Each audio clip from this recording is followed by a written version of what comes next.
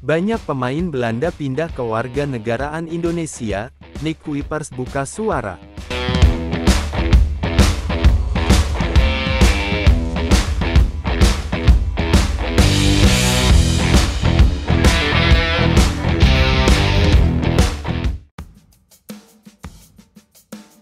Pemain bertahan Persib Bandung, Nick Kuipers buka suara terkait keputusan banyak pemain berdarah Belanda yang memilih pindah ke warga negaraan ke Indonesia.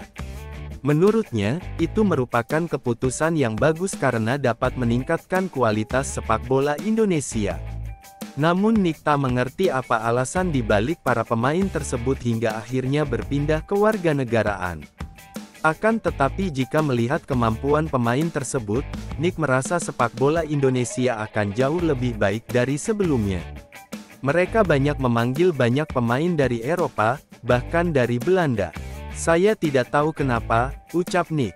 Perlu diketahui bahwa PSSI sempat memanggil empat nama pemain berdarah Belanda untuk masuk ke dalam pemusatan latihan timnas Indonesia. Mereka ialah Tom Haye, Ragnar Oratmangun, Nathan Chuaon, dan Jay Izes. Disinggung dari empat pemain tersebut, ia hanya mengenal satu pemain saja karena pernah sama-sama membela Ado Den Haag, yaitu Tom Haye. Baginya, Tom merupakan pemain yang bagus dan sangat cocok untuk menjadi bagian dari skuad Garuda.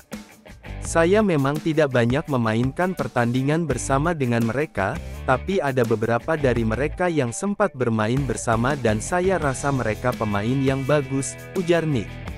Nick melanjutkan bahwa tidak mudah untuk masuk ke liga di Asia terutama untuk tim nasional. Jadi ia berharap, mereka bisa meningkatkan level permainan tim nasional dan bisa tampil dengan kepercayaan diri tinggi.